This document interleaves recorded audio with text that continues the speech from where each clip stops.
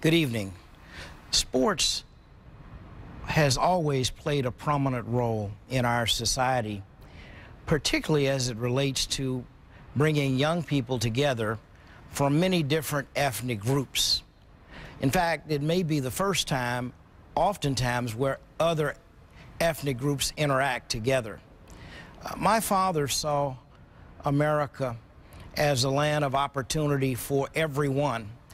And I believe that sports certainly brings everyone together.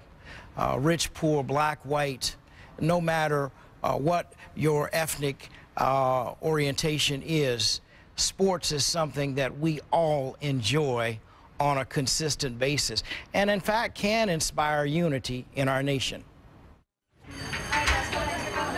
All choir students are reminded to go straight to the music room at the end of block one.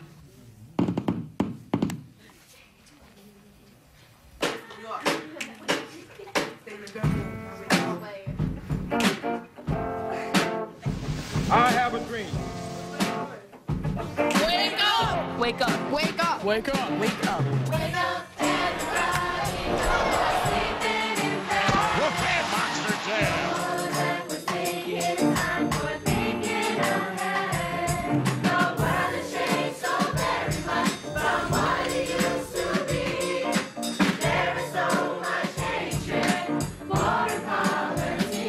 We hold these truths to be self-evident that all men are created equal.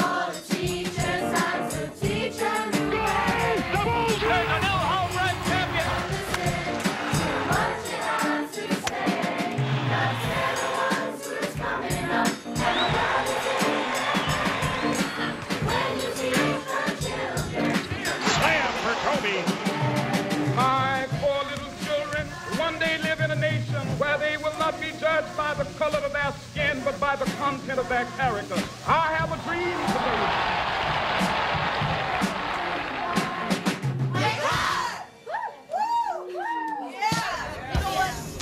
No dateline in the American memory carries more history and importance than Ebenezer Baptist Church in Atlanta, where Martin Luther King Jr. preached his message of equality and nonviolence.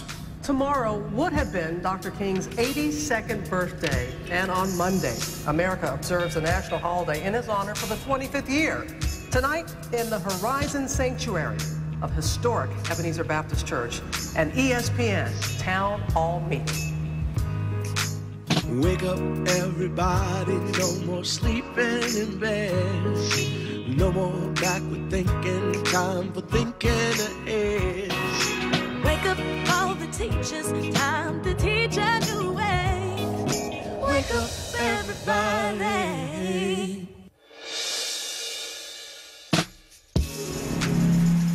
Historic Ebenezer Baptist. Our site tonight for our town meeting. And good evening and welcome to Atlanta, Georgia.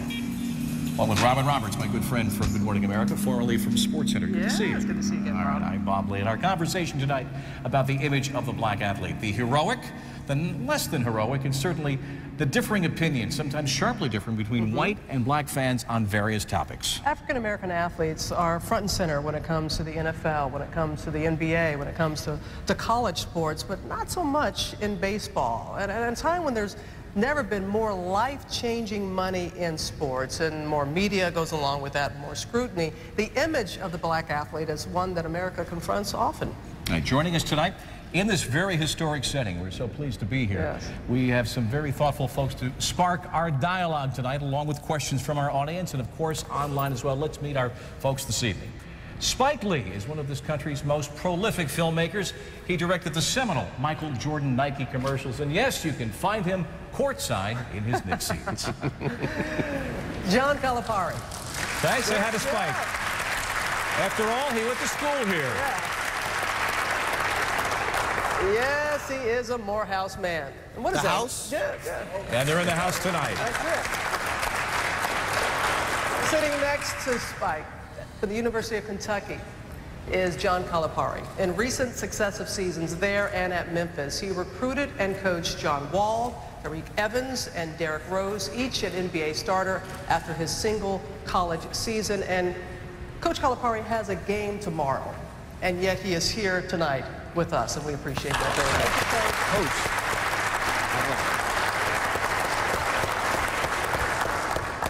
Marion Jones played in the WNBA this past season. She won five medals at the Sydney Olympics, but later forfeited them after admitting the use of performance-enhancing drugs. She served six months in prison. She has focused honestly and spoken openly about this, and we are pleased to have her with us this evening. Welcome.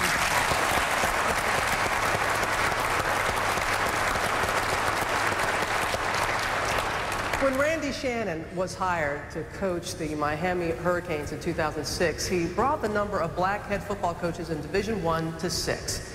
He was 28 and 22 in four seasons at his alma mater, and we're very pleased to have him here with us this evening.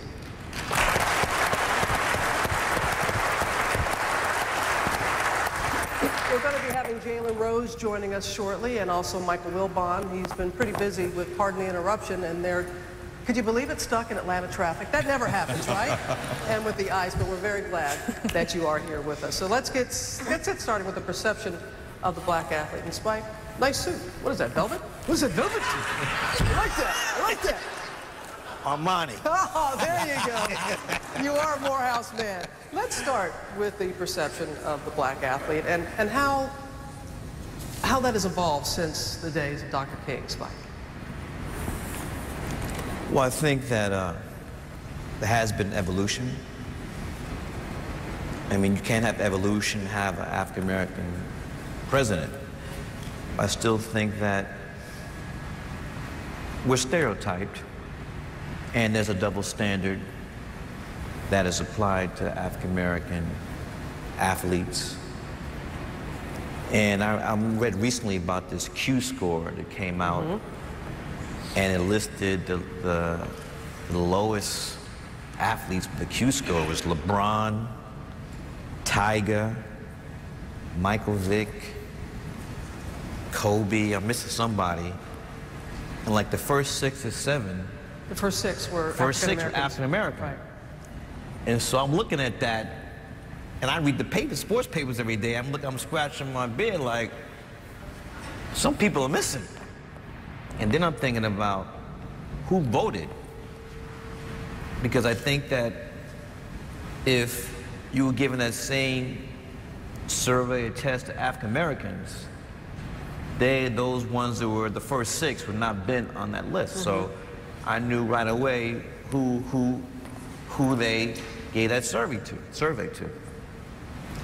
And we're going to be showing a lot of numbers in different surveys, and we do see some differences between how blacks and whites view certain athletes and view certain issues that we would share um, throughout those, these next two hours. But, but, but other than that, Spike, when, when you look at the, the days of Dr. King and the athletes and the way that the, the black athlete was viewed, Right. and you, you fast forward to now, what are the differences, changes Well, I see? think that number one, money.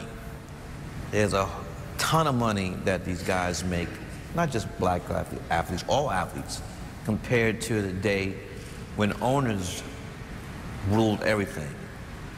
Now you have athletes who wanna, who, who consider themselves brands, who wanna someday own teams. Even Michael Jordan, you know, owns uh, the, the team in Charlotte. So you still have this conflict. And, and for me, it was so interesting the reaction when LeBron left Cleveland. And, and to me, had the dynamics of the slave, runaway slave in the plantation. And then, you know, Jesse jumped in and you had the letter from the Cleveland owner. So I was definitely, you know, bubbling, bubbling to the top. And you know, my man sent that, he says he didn't send that tweet, but Oh, about, this. about karma. You, you, you just got it started. Well, and, But and they you have, they do have the worst record in the NBA. And you bring up those, those, he had to go there, he just couldn't.